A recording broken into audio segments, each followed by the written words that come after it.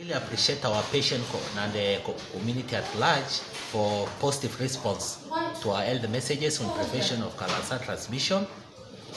Two, for seeking modern medical approach.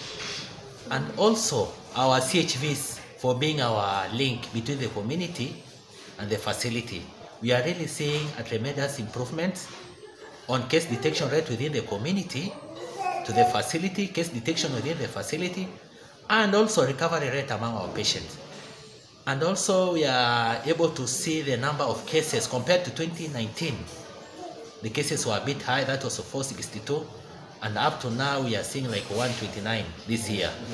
So we encourage our people to be going to the nearest facility. If someone's in Turkana North, should be able to access these services at Lokitaung sub-county. And if someone is in Kibish, should be able to access these services in Nene Kaikor. And if you, are, if you are in Turkana West, please visit Kakuma Mission. We have the Kakuma sub-county. We have RC Hospital. We have Lopiding and AIC. If you are in Loima, please visit Namoruput. You can also go to Urum. You can also go to Lokiriama. If you are within Turkana Central, we have these services in Kalokol.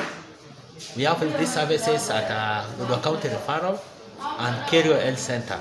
And once you go to Turkana South, you can visit Lokichar Sub-County Hospital. You can also go to Katilu. You can also go to Nakuamoro.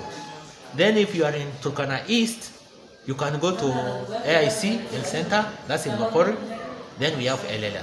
Generally, we have been able to create diagnostic and treatment sites within the seven sub-counties. So no one should die or no one should, should walk long distances to look for these services.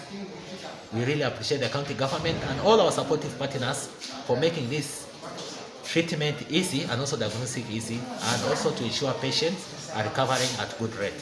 Thank you.